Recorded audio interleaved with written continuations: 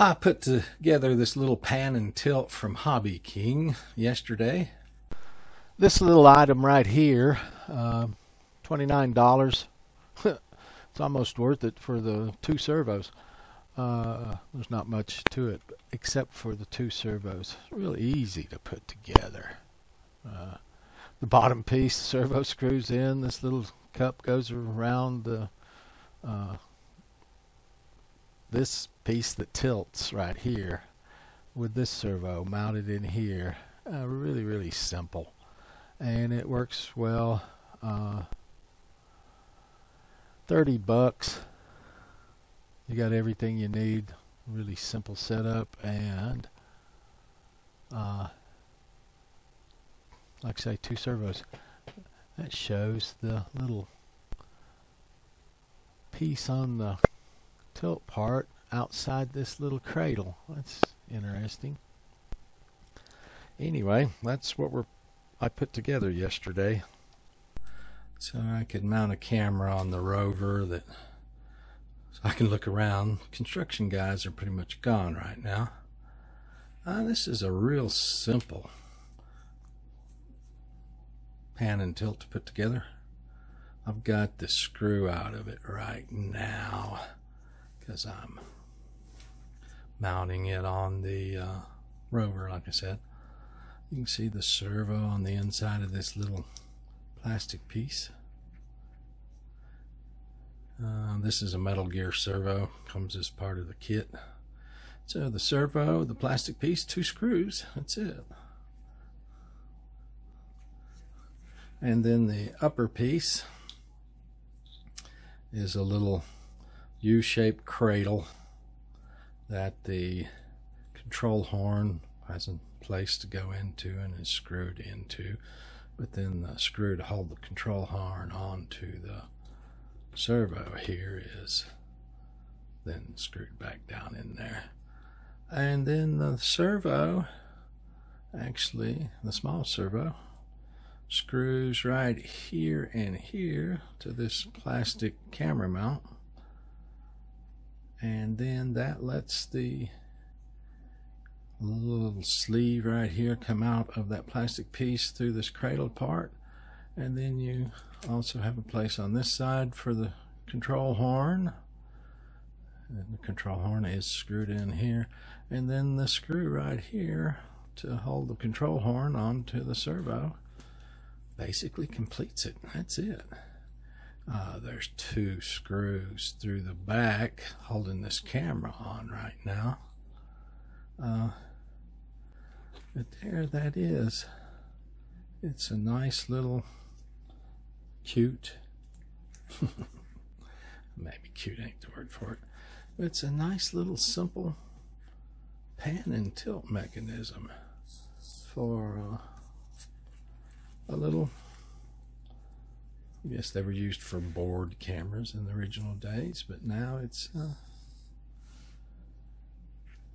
used for these little. This is a Runcam Owl Plus, I believe.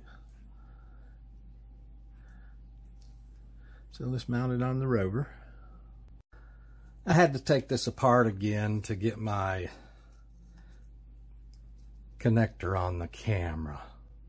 So this is the other little plastic piece that comes with the pan and tilt. It's got some screw holes for cameras. I used these diagonal ones. And then, like I say, oops, just dropped a piece. The servo itself goes in like this,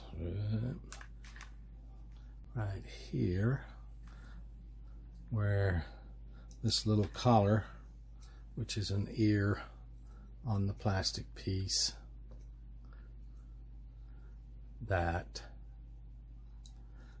goes in the little cradle.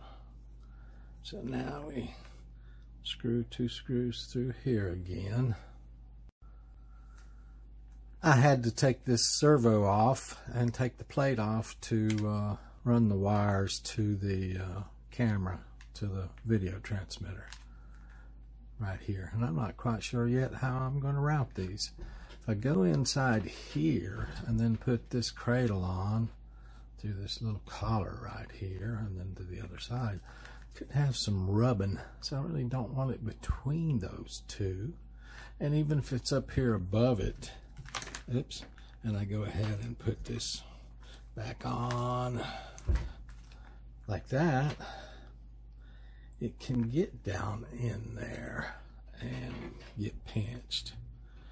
So I haven't quite figured out how I'm going to do that. I'm not going to put that screw back in right now because I'm not real sure that servo is actually at neutral.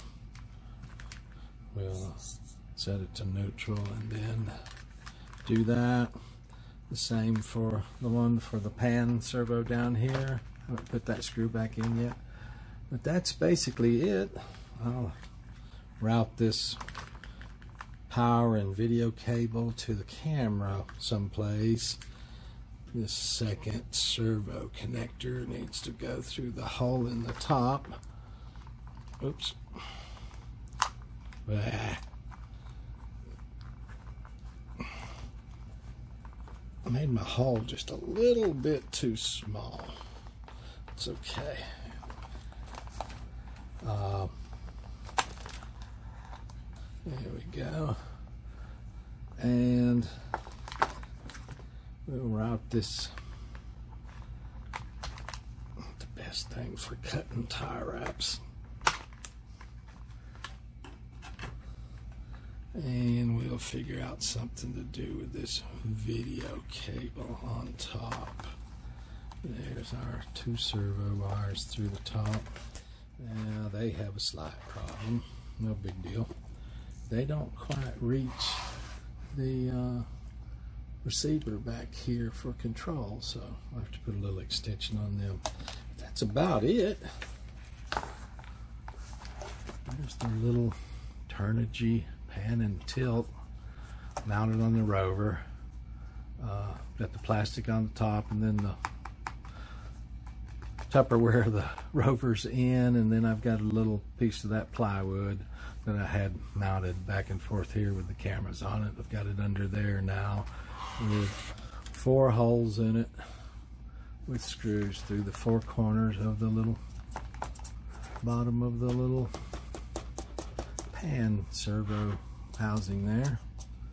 And then there's our tilt servo.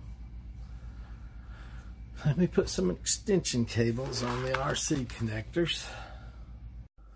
Okay, I put the servo lead extensions on and programmed it on my radio. And now this stick turns the rover right and left, forward, stop, reverse. And this one will turn the camera left and right and also up and down. I got it doing a little more up than down. Not much I need, really need to see in front of me. So there that is. I'm finished. I now have a pan and tilt mechanism on the camera on the rover so I can watch out for cars and stuff in my driveway. Uh, they've basically finished the house. There's not much construction going on over there anymore. Uh, and whoever moves in, my landlord or a renter, there'll be an additional family coming in and out the bottom part of the driveway. So I still have to be able to look quickly to the right and quickly to the left. Uh, this is just a 180 degree servo, so I've just got 90 degrees on each side. The other two pan and tilts I have over there are 360. I can look behind me. But we'll not worry about that right now. So there's that project finished. Don't know what else to say about it.